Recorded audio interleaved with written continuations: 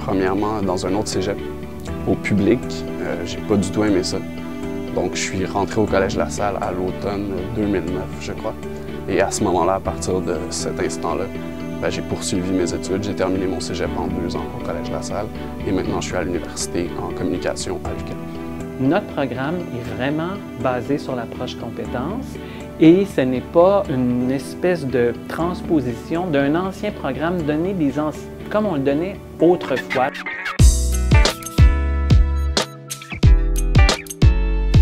Euh, ben, premièrement, les professeurs au Collège La Salle sont extrêmement euh, disponibles. On a des petites classes, donc pas beaucoup d'élèves, donc pas de surcharge pour les professeurs.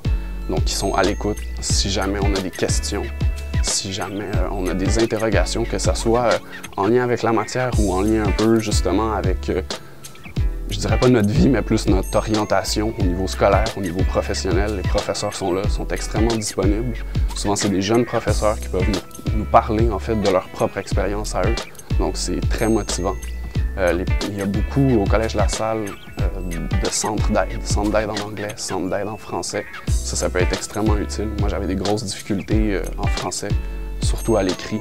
Je faisais beaucoup de fautes et j'ai réussi en deux ans à aller euh, pendant trois sessions au centre d'aide en français, à améliorer euh, mon écrit, à écrire, me permettre en fait d'écrire des longs textes, des longues dissertations.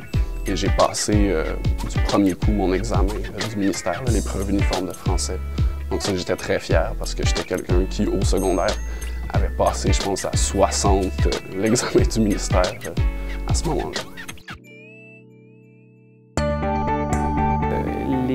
L'histoire à succès chez nous, c'est que grâce justement à l'encadrement qu'on fait, ces étudiants-là euh, ont des taux de réussite bien supérieurs à ce qu'ils avaient avant.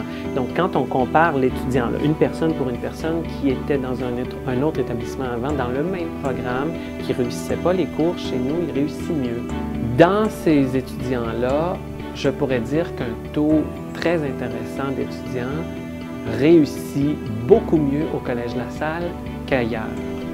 On a des très bons professeurs au Collège La Salle, des gens qui transmettent vraiment leurs connaissances et qui ont un souci euh, de réussite de leurs élèves. Ils ne sont pas là pour euh, nuire aux gens ou pour euh, toujours les rabaisser ou leur dire qu'ils sont pas bons.